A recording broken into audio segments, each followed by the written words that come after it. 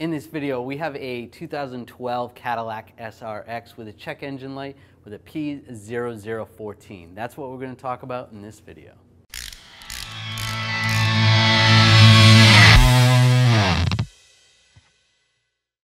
This video will apply to most GM vehicles that have the same 3.6 liter V6 engine. The code we have on this vehicle is the P0014, which is the Exhaust Camshaft Position Performance Code on Bank 1.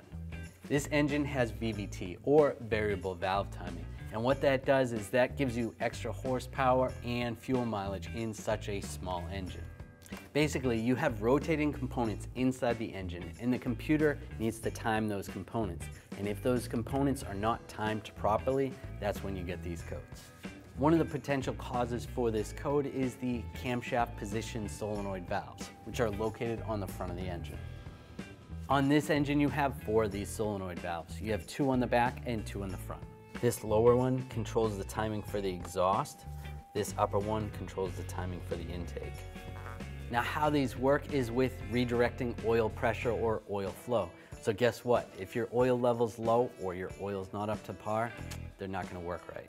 Before you go changing any of these components, you want to check your oil level. Make sure it's not low and make sure the oil looks good. If you've neglected to change your oil or it was extremely low, the damage is probably already done and you're going to need to change those solenoids. Here's what the solenoid valve looks like when it's out of the vehicle. Here's where the oil goes in, these different passages. And what you want to check for is to see if you see any metal particles in here. And I don't see any metal particles, which is good.